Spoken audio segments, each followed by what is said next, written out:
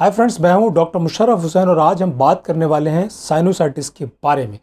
Chronic sinusitis एक ऐसी बीमारी है जिससे बहुत सारे लोग बहुत परेशान होते हैं। ज़रा सा मौसम बदला, सर दर्द शुरू हो गया, नाक बंद हो गई, नाक बहने लगी और उनके लिए इतना मुश्किल हो जाता है कि उठना भी मुहाल हो जाता है क्रॉनिक साइनोसाइटिस के साथ। ज़रा सा सर नीचे करते हैं तो उनको सर दर्द शुरू हो जाता है। उसका कारण क्या होता है कि हमारे एक साइनसेस होते हैं। साइनस ऐसी चीज़ है जहाँ से कुछ फ्लूड हमारे नाक के अंदर आता रहता है, जिससे वो एक तरह से लुब्रिकेशन का काम करता है। अब अगर इन साइनसेस में किसी तरह से सूजन आ जाती है, उसके कारण इन्फेक्शन भी हो सकता है एलर्जी भी होता है, और अगर ये सूजन बनने, बढ़ने लगे तो फिर पानी इन साइनस के अंदर इकट्ठा होने लगता है। और जब ये साइनस के अंदर ये पानी इकट्ठा होता है तो फिर वहाँ पे प्रेशर होता है, जिससे प्रेशर हेडक शुरू होता है। मरीज़ के यहाँ पे मैग्जिलरी साइनस या फ्रंटल साइनसिस में जनरली दर्द होता है। इसका बहुत ही सिंपल और सरल इलाज है आपको क्या काम करना है? एक तो आपको उन चीज़ों से बच के रखना है जिनसे आपको एलर्जी होती है या जो आपके ट्रिगरिंग फैक्टर है, उनसे आपको दूर रहना है। उसके अलावा मैं आपको कुछ दवाइयाँ यहाँ पे बताने जा रहा हूँ। सिंपल ये देसी दवाइयाँ हैं। अगर आप इनको लगातार इस्तेमाल करेंगे तो आपका साइनोसाइटिस चाहता रहेगा। ये ड्रग ऑफ़ चॉइस है यूनानी सिस्टम ऑफ़ मेडिसिन में हर्बल मेडिसिन में, जिससे बहुत पुरानी साइनोसाइटिस या क्रॉनिक साइनोसाइटिस भी ठीक हो गई है।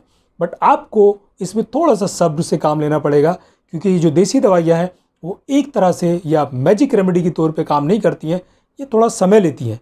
तो आप शुरू में कुछ एंटी एलर्जिक यूज़ कर सकते हैं जब ये दवाइयाँ खा रहे हैं, या एक कोर्स ऑफ़ एंटीबायोटिक भी कर सकते हैं कि अगर कोई इन्फेक्शन है तो ठीक हो जाए। लेकिन लॉन्ग टर्म में जो मैं आपको दो दवाइयाँ बता रहा हूँ, अगर इनको आप लगातार यूज़ करेंगे तो आपका जो साइनोसाइटिस है, वो डेफिनेटली जाता रहेगा। और आप देखेंगे, आप खुद कमेंट करके मुझे बताएँगे कि हाँ आपको इस दवाई से कितना फ़ायदा मिला है।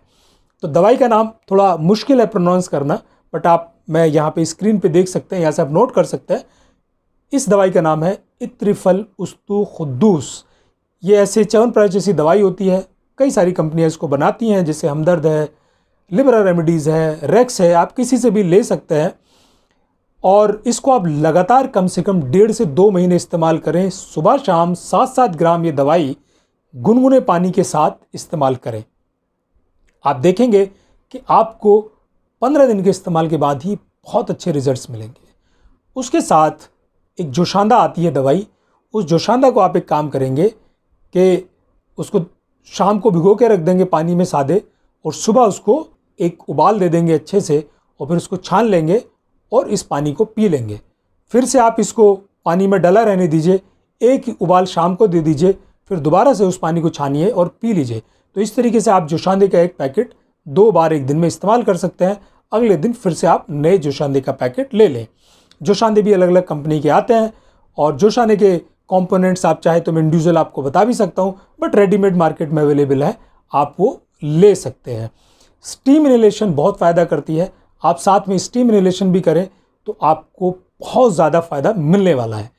आप देखेंगे कि आपको कमाल रिज़ल्ट मिलेंगे और आपको हो सकता है कई बार हमें सर्जरी कराने की ज़रूरत पड़ती है, जिसको फेस सर्जरी के नाम से जाना जाता है, फंक्शनल एंडोस्कोपिक सर्जरी। अगर कोई साधन नहीं होता, कोई ऑप्शन नहीं बचता है, तभी आप सर्जरी की तरफ़ जाते हैं, मगर उससे पहले आप अगर इसको ट्राई करके देखेंगे तो मुझे उम्मीद है कि आप उस सर्जरी से भी बच जाएँगे। तो आई एम वेरी श्योर आपको ये वीडियो अच्छा लगा होगा। अगर आपको अच्छा लगा हो तो इसको ज़्यादा से ज़्यादा लोगों को शेयर कर लें। लाइक करें, कमेंट ज़रूर कर दें सो so दैट मेरा मोटिवेशन बना रहे और चैनल को सब्सक्राइब कर लें। आप वीडियो देखते हैं लेकिन सब्सक्राइब नहीं करते हैं। तो मुझे हौसला मिलेगा ऐसी इन्फॉर्मेटिव वीडियोज़ आपकी तरफ़ लेके आने का और बेल आइकन को भी ज़रूर दबा लें सो दैट इस तरह के इन्फॉर्मेटिव वीडियोज़ आपको समय पर मिलते रहें। Thank you